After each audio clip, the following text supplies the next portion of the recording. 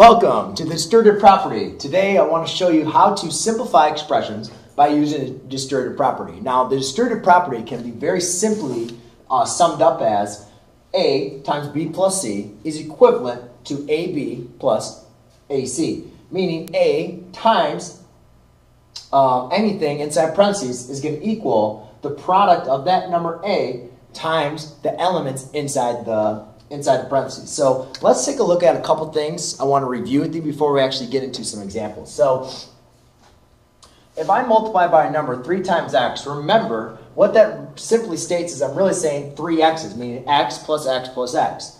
Now, now, if we create parentheses, the reason why we create parentheses is let's say I have a number that I can't simplify. Let's say x plus y. So I'm going to put that times parentheses. So really the product of 3 of that is x plus y plus x plus y plus x plus y. Well, if I kind of simplified this, I would get 3x's plus 3y's. So what we've noticed is by using the distributive property, we don't have to go through all that kind of stuff. What we know, what we can do is, if we simply multiply the 3 times the x, we get 3x, and the 3 times the y, we'll get 3y's. So you can see all this work I did. We can just do distributive property, right? Okay. Um, the next thing we need to look at is let's take a look at some real numbers, right? I mean, you can believe me as much as you want to, but does it work for real numbers? Well, first thing I need to have you prove is that 3 is the same thing as 2 plus 1. All right? So as long as you guys can agree that 3 is the same as 2 plus 1, I'm going to multiply 4 times 3, and I'm going to multiply 4 times 2 plus 1. We said they're equal, so it's okay. Well, multiply 4 times 3, that's just a number times a number. We're going to get 12. However, since I rewrote 2 plus 1, what I'm going to have to do is use the distributive property. Now, obviously, if you're simplifying a problem, you could, you know, just add those together and multiply. But for, our, for my case here, if I use the distributive property, I have 4 times 2, which is 8, plus 4 times 1, 4 times 1, which is 4. Therefore, what we notice is 8 plus 4, we know is going to equal 12. So the distributive property works. So what I'm going to do is I'm going to go over some examples now with you, and then I'm going to leave some examples over to you for you to practice, me to show you kind of some tips, and then I'll come back and we'll check your work. So the first example I'd like to go over is if I have 4x, 4x times 2x plus y. Now, when when you're multiplying a number outside parentheses here, I just had this one number, right? And you distribute it through. Well, when you're given kind of a term here, where you're going to have two different elements, you need to make sure that you multiply both of them across.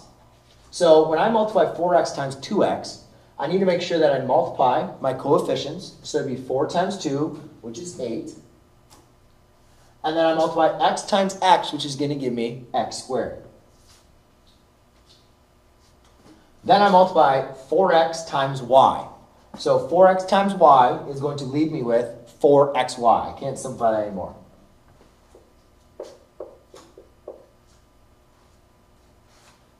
All right, problem number two. For this one, I have a negative 3, and now I have three different terms in here. Well, to multiply, just like when it was two terms, distributive property is going to tell you you have to multiply your outside term by everything inside your parentheses. So a lot of times we like to write is these little arrows.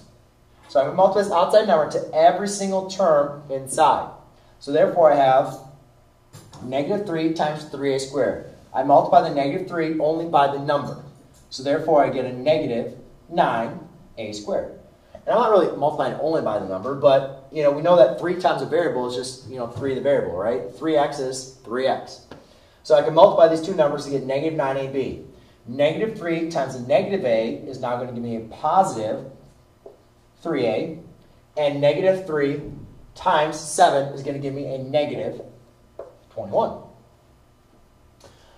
Now, whew, I'm just building it up, aren't I, for you? So now we have three terms on the outside, plus we have three terms on the inside. Again, if we can just stick with our rule, we take whatever's on outside of our parentheses and just multiply to every term inside. So this one I'm actually going to uh, break up for you.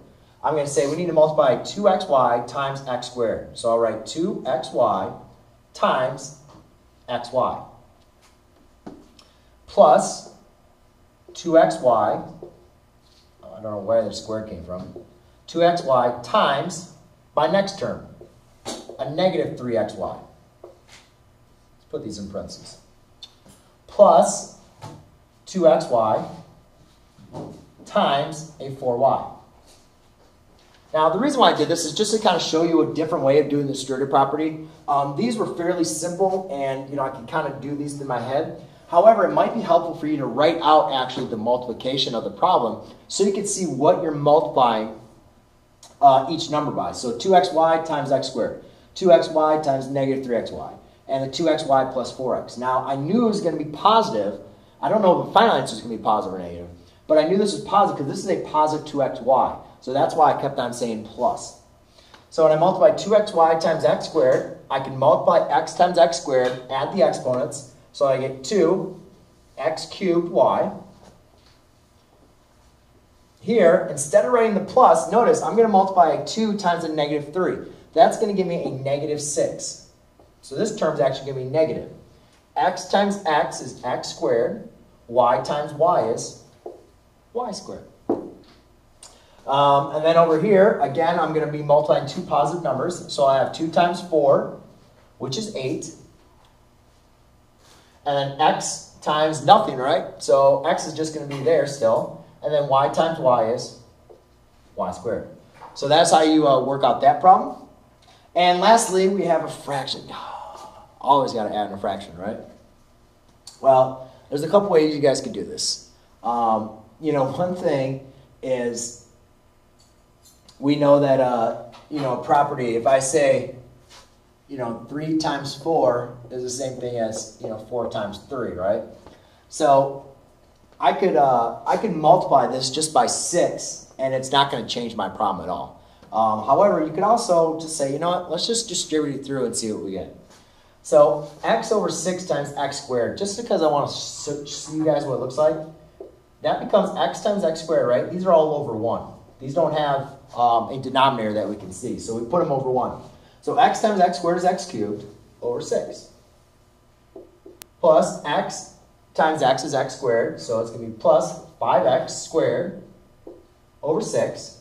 And then x times minus 9 will be a negative 9x over 6. So then if you want to do, uh, you know, do you could do a couple problems. You could like factor out the 1 6 if you don't like the fractions third plus 5x squared minus 9x. You know, there's a lot of different things you could do to go and simplify the problem. And but that's pretty much the basics of using your distributive property. So now what I'm going to do is I'm going to erase these problems. I'm going to put some problems up there on the board that I want you to solve, and then I'm going to come back and see how you guys do. Okay, please go ahead and write down these problems, give them a shot, see how you do with them, and then I'll come back and I'll show you the answers.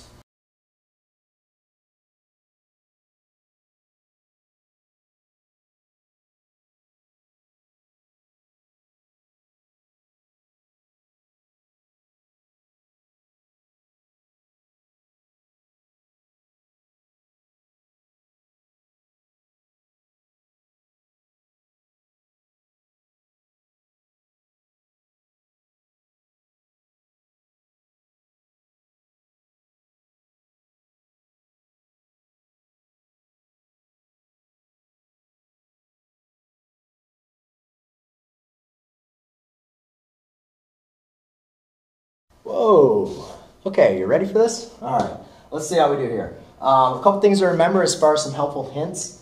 Um, for the first one, remember we're just going to multiply. All right, it might be helpful, guys, if you don't know what to do, to remember to draw these little lines going to each term. It also might be helpful just to rewrite this as like negative 2y times y squared. Now before in my previous example I did plus. Well here it's always a negative, so you get a negative 2y times a negative 3y, and minus 2y times 1. So it might be helpful to write it out. So check your, check your problems and see which one's easiest for you to write it out, or can you simply do it um, by multiplying here. So I'm going to just kind of work through these answers uh, pretty quickly, just see how I do. Um, hopefully, you know, you guys spend some time working them out. So 5y times 3x, I can't combine my y and my x, so it's just going to be 15yx. And then 5y times negative 2 is a negative 10y. Over here, I have negative 2 times y squared. Negative 2y times y squared is a negative 2y cubed. Negative 2 times negative 3 is a positive 6 times y times y, which is y squared. And then negative 2 times y times 1 is going to be a negative 2y.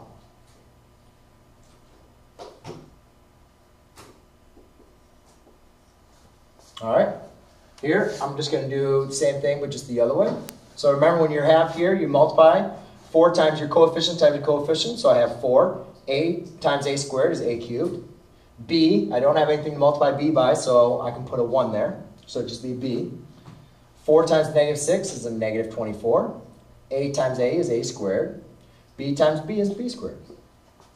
Lastly, 4 times negative 2 is a negative 8 a times, I don't have there, so it could be a to the 0, which would be 1. So I'm just going to write my a. And then b times b squared is b cubed. Lastly, again, it's the same thing. Just distribute your uh, 1 fourth. These all do not have denominators, so I can make them as a denominator of 1. So you multiply your numerator times your numerator, your denominator times your denominator. So you obtain 7x squared over 4 minus 4x over 7 plus 8 over 7. Where did I get 7? How about our denominator was 4, right? Sorry about that. Okay, well, ladies and gentlemen, that is how you use distributive property. I hope this process helped. I hope you got your answers right. Um, if you have any questions, feel free to uh, let me know. But that's your distributive property for you.